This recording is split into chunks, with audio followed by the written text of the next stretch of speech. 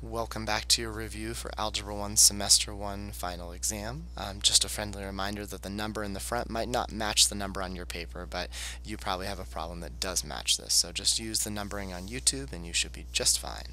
So um, we have an inequality to solve here. And remember, inequalities are just like equal signs, right? If we didn't have this less than sign, we could have just treated it as an equals, and we use generally all of our same rules. The first thing you want to do when you're solving an equation is, and I guess I should rewrite this here, um, is we always want to try and simplify each side. Now when I say side, I mean here is one side, here is another side. That inequality sign splitting it. There's nothing I can do to simplify 15, that's just going to stay 15.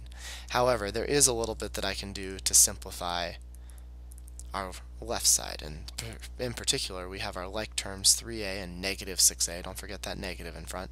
And 3 minus 6, well, that's going to give us negative 3 of those a's, and there's still a plus 3 at the end.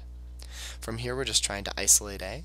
And our first step is we want to undo any addition and subtraction. So I'm going to subtract 3 from both sides. We end up with negative 3a is greater than 12. And then last but not least, the negative 3 is multiplying by a, so we're going to undo that by division, and we end up with a on the left side, and 12 divided by negative 3 is negative 4 on the right side. There's only really one main difference for solving equations versus inequalities, and that main difference is going to show up right now. Our main difference is that whenever we multiply or divide, and I'm going to write that for you, so multiply or divide by a negative number, and notice we did divide by a negative here, then you need to flip the inequality sign. So, because I did divide by a negative, I need to flip the inequality from a greater than to a less than, and we've now found our answer. A is less than negative 4, which is C.